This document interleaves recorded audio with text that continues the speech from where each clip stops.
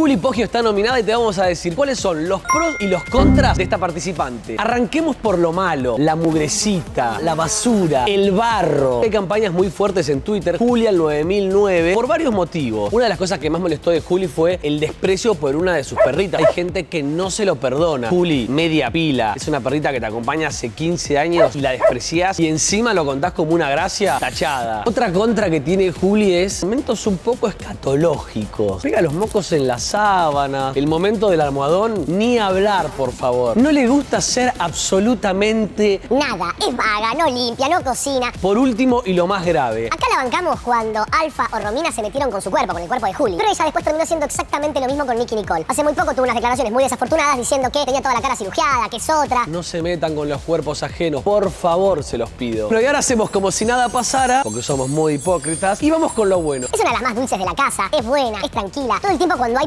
ella trata de aplacar a sus compañeros, de no meter cizaña, generar o levantar la bandera de la paz dentro de la casa de Gran Hermano. Es la más didáctica, es la que propone todo el tiempo juegos, piensa muy bien sus jugadas sin lastimar ni traicionar a nadie. Creo que de todos los Gran Hermanos, este grupo de chicas de esta generación es el que se protege entre sí. Y Juli es una de las más embanderadas en no nominarse entre mujeres. Si no la quieren a Juli, lo mejor que pueden hacer es dejarla dentro de la casa y sacar la tercera. La dejan dentro de la casa, es la que menos va a facturar fuera de la casa, porque sabemos muy bien que todos los ex participantes están facturando mucho fuera de la casa. A ustedes, ¿cómo les cae Juli de Gran Hermano?